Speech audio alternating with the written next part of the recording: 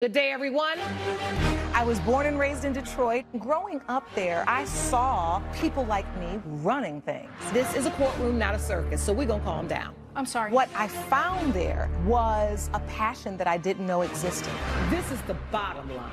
I'm excited to free fall into the limitless possibilities with we the people. So many are fearful of the law. They think it's something that works against them. I think you need to begin to accept responsibility for your mistakes. We are the people. Bryce Lakewood claims he helped his former work wife when she needed a loan, only she skipped out on the balance. Chanel Simpson says she worked off what was owed, but the plaintiff crossed the line by expecting more.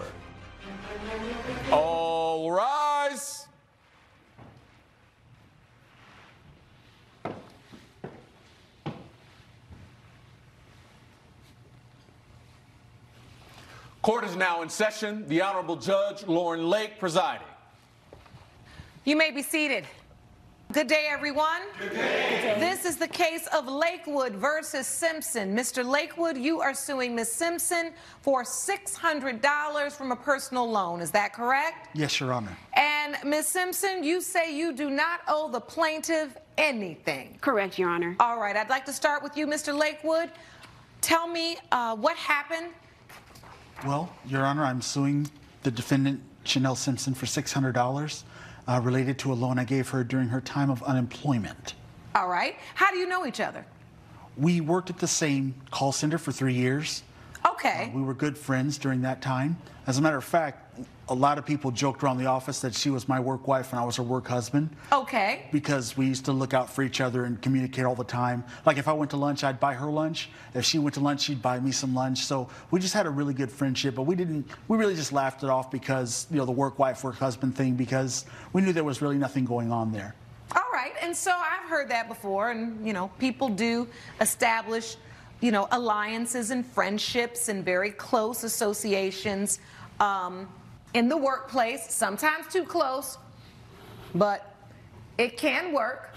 Ms. Simpson, so you experienced a period of unemployment. That is correct, Your Honor. And can you tell me what the circumstances were that prompted you to take a loan from Mr. Lakewood?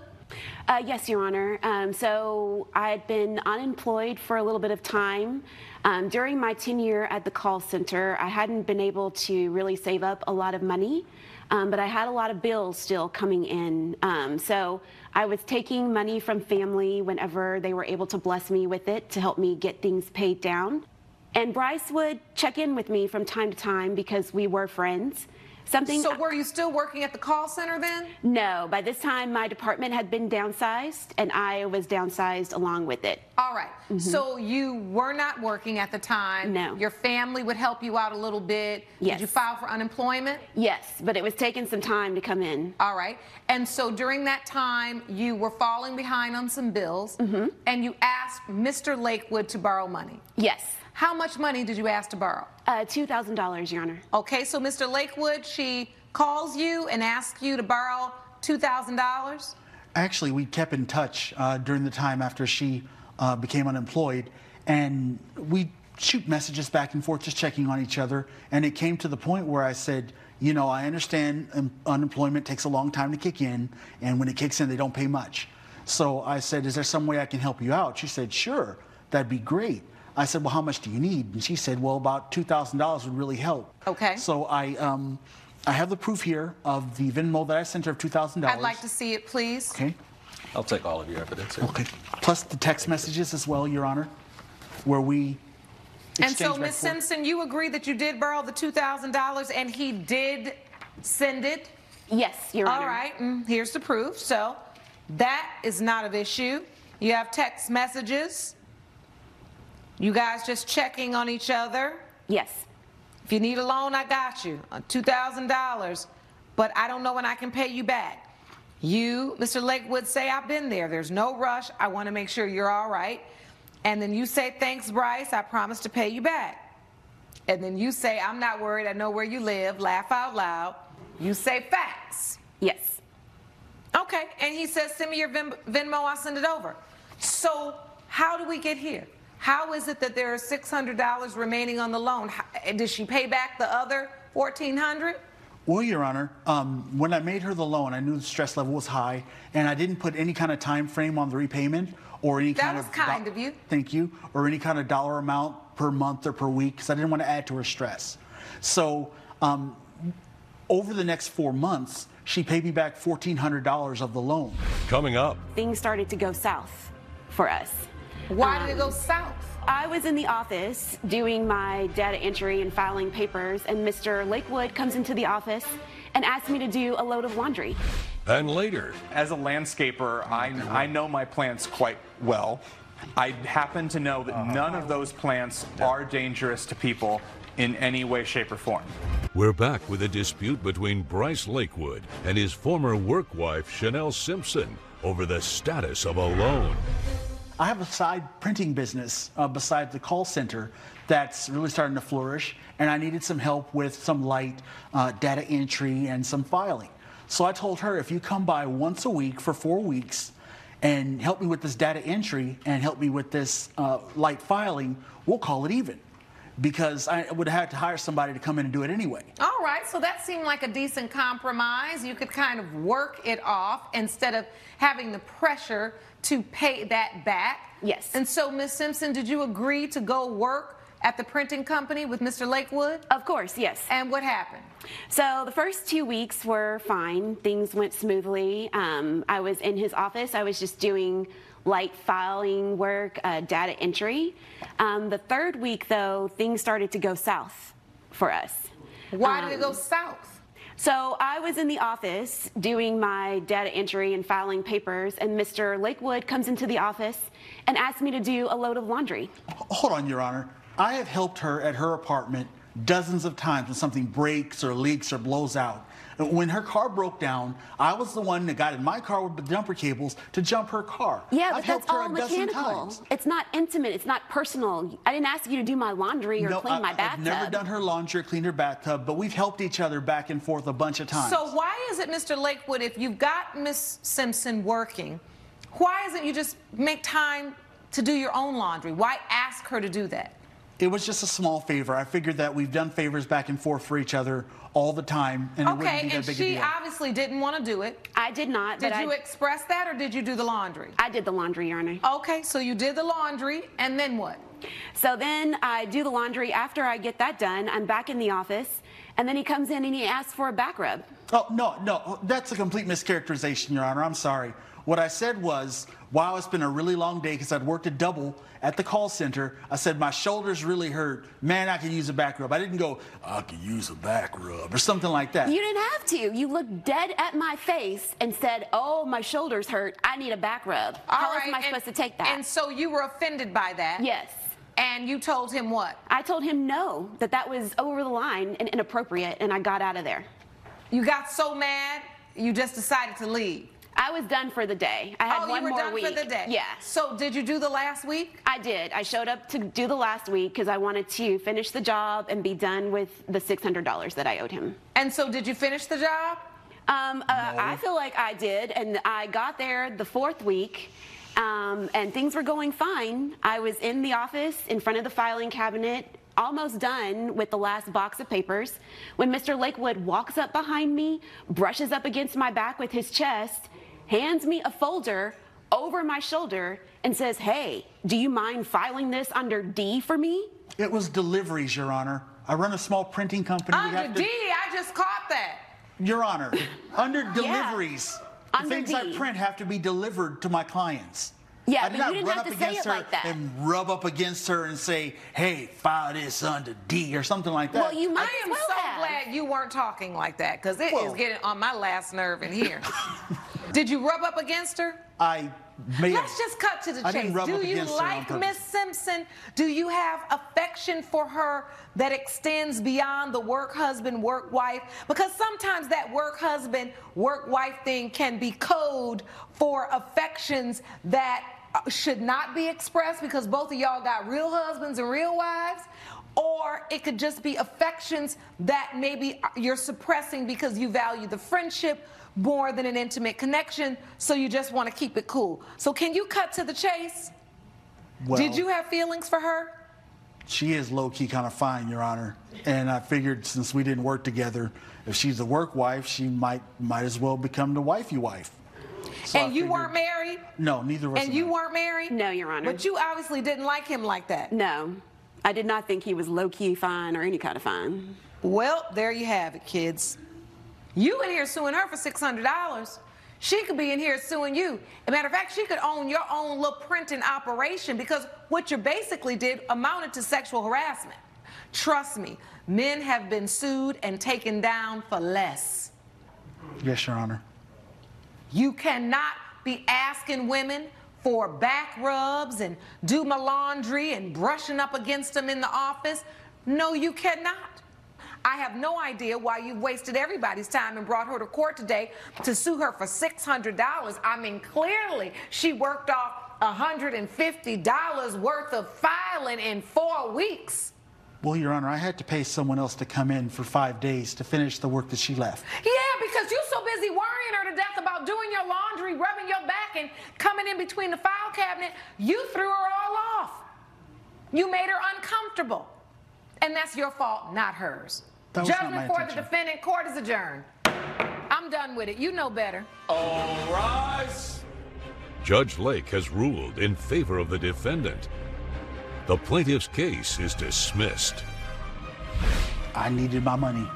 You don't need the money. I gave you the money. I worked off what I owed you. You didn't need to take it this far. Well, I, I had to pay someone else to come in and finish your work. So. That was not my problem. You shouldn't have been so inappropriate. No, it was my problem because I, had Yeah. to, I need my money. Coming up, my dog, you know, like he was just acting different. He was throwing up and all of this. So then I got really worried, you know, like what's going on? When we took him to the bed, and when the, we took him to the bed, is when you know, like she said that it was, there was poison. The, the reason why he was acting like that, he was poisoned. network featuring dynamic judges and live legal programming, Well, we're not at your school. We're in my courtroom. unique court shows, Where is any information about the company? live legal news, That's what you should have done. and a commitment to justice. Either you tried or you did it. The next generation of court programming in one dynamic network. Justice Central. You're watching Justice Central. Stay tuned. You're watching Justice Central. You're watching We the People with Judge Lauren Lake. David and Sophia Nunez claim they were shocked that the beautiful garden they had installed was the reason their dog almost died. Michael Crest says the co plaintiffs only asked for plants that were non toxic to kids. Good day, everyone. This is the case of Nunez versus Crest. Mr. and Mrs. Nunez, you are suing Mr. Crest for $2,569 in veterinary bills for your dog eating poisonous plants. Is that correct? That's correct. And the defendant, you claim you provided the exact services you were contracted to do. Is that correct? That's correct, Your Honor. Start from the beginning, Mr. and Ms. Nunez. You were getting plants. Uh, Yes. Yeah, Okay, back here. explain to the court what Says- you contracted Mr. Crest to do. You know, my wife's always wanted a beautiful garden, so, you know, It has always been my dream. yeah. So, you know, why not provide that for her? She contracted this individual here, and uh, things just didn't go as planned. How did you find Mr. Crest, Ms. Nunez? Yeah, so we found him online. So I was able to find him online. You know, I, I was I saw so many like good reviews when I was looking online for that. Mr. Crest, do you remember getting the uh, call from Mr. or Mrs. Nunez about her wanting you to do their yard? Yes, I do, Your Honor. All right, and what did that call uh, entail? What, what were you talking about? Uh, the initial call was pretty general, um, but I did meet her at her home. Uh, she did have some very detailed, uh, inspirational pictures that she uh, gave me, showing me what she wanted uh, from this job. She did specify that they had a two year old son. Uh, this garden needed to be safe for their child to be in. We had an arrangement that none of the flowers, none of the plants were going to be toxic. Coming up, When I came home, she told me that the dog wasn't acting right. I saw the dog. The dog was almost dead. He was lying on the ground with his tongue hanging out. we're back with the case of David and Sophia Nunez, who brought landscaper Michael Crest to court for planting a toxic garden. Was this arrangement in writing? Yes, it was. Yes, it was. Did you bring the contract? Um, I have it right here. May I see it, please? Absolutely. Thank you. Thank you. Continue. So we agreed that none of the plants would be poisonous. Um, as a landscaper, I, I know my plants quite well. Um, I happen to know that none of those plants are dangerous to people in any way, shape, or form. I see in the agreement that you're to plant non-poisonous plants. Customers going to pre-purchase the seeds. That's correct. So what went wrong? Did you get the garden you wanted? Well, every you know everything in the beginning, nothing was you know was wrong. Like it was beautiful. Like he did a great job. I was I was extremely happy. He was happy. I was happy. So everything was fine.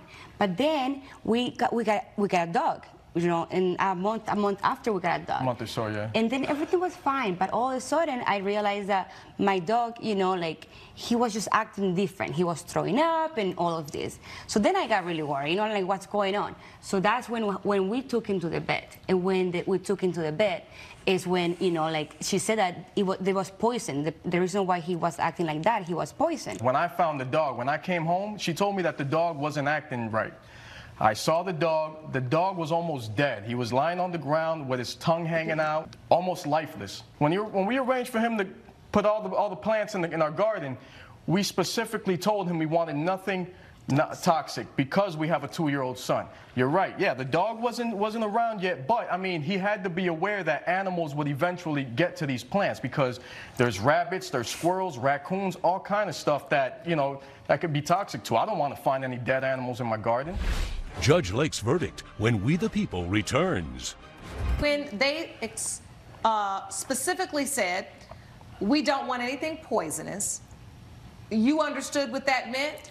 I Or understood. what was your understanding? My understanding was that they didn't want any plants in their garden that could be potentially toxic to their two-year-old child. Hmm. They said they did not want any plants in their garden that were dangerous to humans. Why, why should we have to explain that? We- Because said there that- are I said- I things that are dangerous Oh, to lots of different animals that aren't dangerous Why to humans. want something Chocolate is Now dangerous to dogs. talk. Is it dangerous to humans? order. Let's get some order. You should have, just like you're just arguing about in open court today, said there are so many variables to what is toxic. All you had to do was ask them one question. When you say nothing poisonous, do you mean poisonous to humans, animals, or both? In this instance, I do believe, Mr. Crest, you failed to ask one important question that a reasonable person in your business at that time with a family and a yard and a young child should have asked. For that reason, judgment for the plaintiff for $2,569. Court is adjourned. All rise. Judge Lake has ruled in favor of the co plaintiffs. The defendant owes $2,569. I respect Judge Lake, but I completely disagree with this. I mean, I, I'm, I'm sorry about what happened to your dog. I love dogs, but you did not tell me you were getting one, so I don't think there's much else I could have done. So what you're saying is you're not sorry. What I'm saying is I uh-huh. didn't know you were going to have a dog,